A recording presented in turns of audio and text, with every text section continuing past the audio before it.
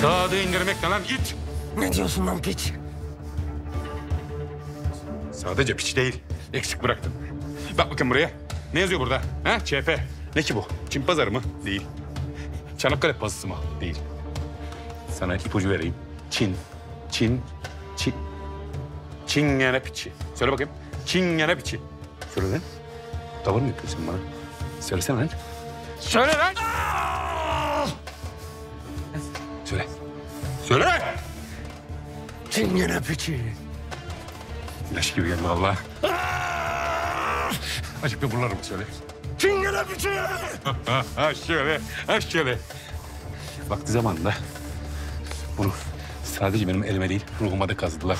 Çok utandım ben. Kimselere göstermeyin dedim. Sakladım hep. Sonra dedim ne saklıyorum? Hani sen pişik yapmayınca alem seni hiç takmıyor. Sen bir türlü makbul bir vatandaş da olamıyorsun belli ki. E o zaman ne olacak? Piç ol. Çingene'nin piçi ol. Bu senin şeref nişanındır dedim. Ne saklıyorsun? Herkesler bilsin. Ne saklıyorsun? Bak şimdi sen de öğren. Benim adım Çingene Küçük Kartal.